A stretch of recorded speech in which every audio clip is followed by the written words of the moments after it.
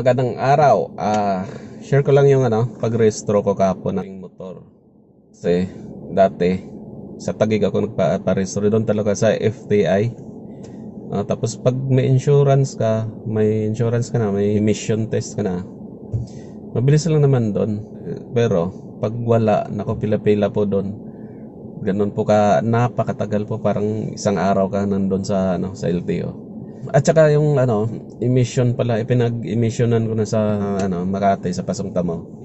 Naga hinahanapan kanila ng tin number. Eh wala naman akong tin number kasi domestic nga yung trabaho driver.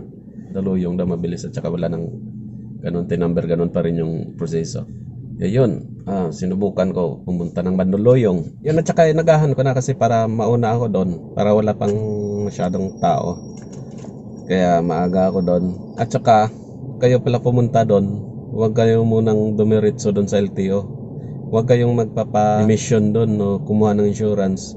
Mayroon dito sa malapit lang, siguro wala pang 100 meters, oh 100 meters yata. Katabi siya ng Max at saka yung sa harap niya, mayroon ding insurance doon kaya paparehistro kayo doon na kayo kumuha emission at saka insurance kasi sa LTO ma napakahaba ng pila napakahaba talaga ng pila doon. Kaya huwag muna kayong dumiritso ng LTO. Yung right, mga gatong umalis para hindi tayo mabutan ng maraming tao sa LTO kasi pag ano, pila-pila marami ng tao kaya maaga tayo. Kaya nasa sa po tayo ngayon na papuntang cruising at galing tayo ng Makati. Time check 6.08 a.m. Okay. Diyan na to, nag, napakaaliwalas pa ng daan at wala masyadong sasakyan. Medyo madilim-dilim pa guys. At saka sa mga nagpaparehistro dyan, ah, kailangan agahan yun talaga kasi yung ibang emission kasi ano, limited lang yung slot. Limited lang. Pasensya na pala sa audio natin kasi ano, wala pa tayong adapter, mic adapter ng GoPro, napakamahal kasi.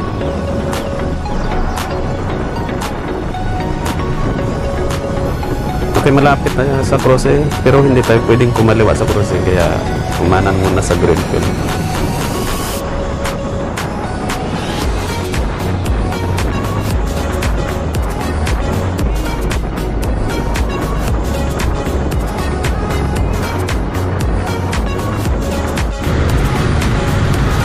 Kapitoy crossing na at tatawid tayo ng isa para dire-diretso na sa LTO.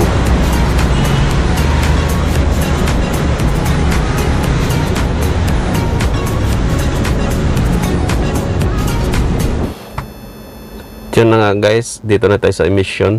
Ah, tamang-tama wala pang tao. At ito ay Shoe Boulevard.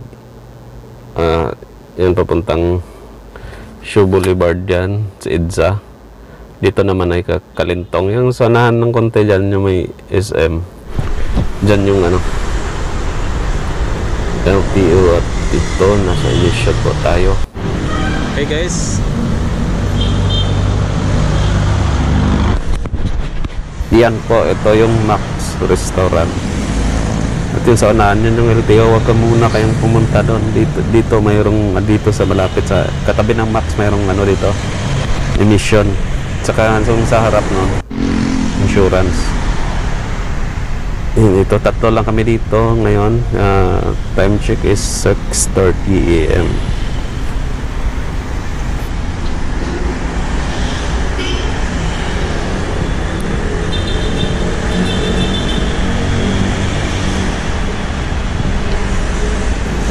7 a.m. pa magbubukas yung emission kaya hintayin natin.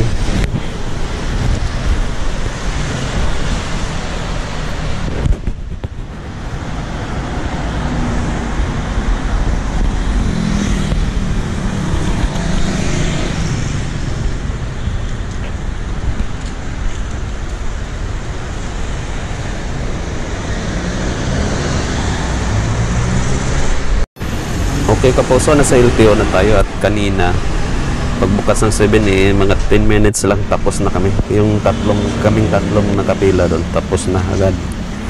At dito na tayo sa LTO. Magantay muna tayo ng 8 a.m. pa sila magbukas. Kaya at saka pag dating nyo dito, kumpleto naman kayo, mayroon na kayo insurance o, o emission, ibigay nyo na agad sa guard kasi yung guard ipapasok niya doon sa loob yung mga papeles nyo kasi hindi kayo pwedeng pumasok eh. Kaya ibigay nyo agad. Okay, nandito tayo ng 7.15 a.m.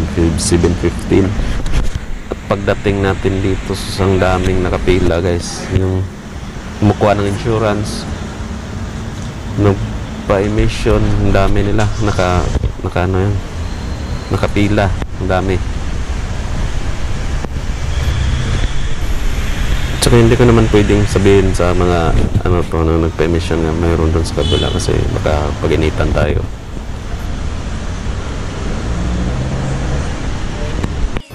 Okay, nagbukas ng 8 a.m. ang LTO at natapos tayo ng 8.05 ganun kabilis ganun kabilis guys dito sa Mandaluyong at yun mga kapuso 10 minutes lang tayo doon sa emission at saka sa LTO ay 5 minutes lang kaya 15 minutes lang yung restro natin. At ang ginastos ko ay 500 sa emission 580 sa LTO insurance 250 map free insurance yun lang guys. At hanggang dito na lang. Maraming salamat sa panonood. Maraming salamat po